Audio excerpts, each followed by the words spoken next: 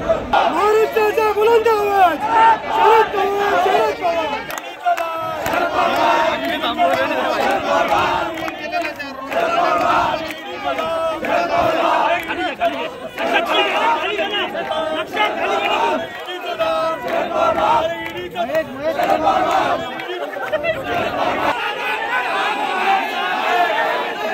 हा गट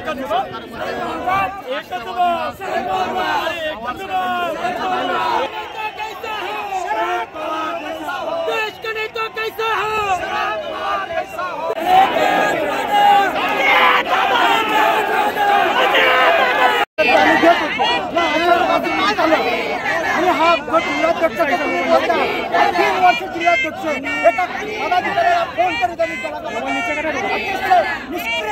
अधिकारी होता पण ठेवलं काय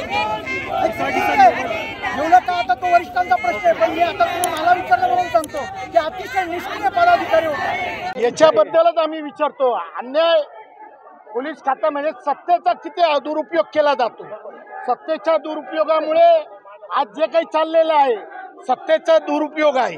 आणि या सत्तेच्या दुरुपयोगामुळे आता सुद्धा आम्हाला थांबवलेलं आहे.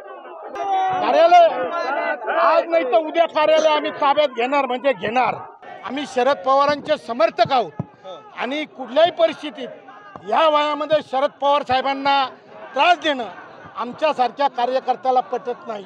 आम्ही काँग्रेसमधून राष्ट्रवादी जन्माला आली तेव्हापासून शरद पवारांबरोबर आहोत. आणि पुढच्या काळात सुद्धा शरद पवारांबरोबर राहणार. पहिली गोष्ट अजित पवाराबद्दल निश्चितपणे या ठिकाणी आमच्याबद्दल आदर आहे.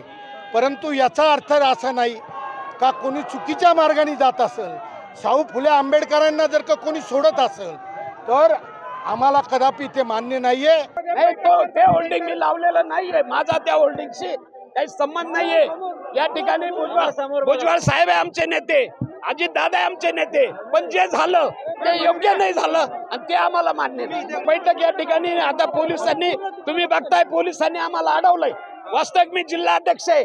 या ठिकाणी आम्हाला मिटिंग घेऊन द्यायला पाहिजे होती.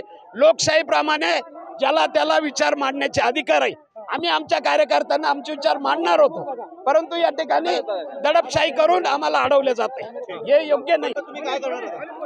आता आम्ही या ठिकाणी बैठक तर घेणार आम्ही रस्त्यावर बसून घेऊ किंवा साईडला जाऊन घेऊ.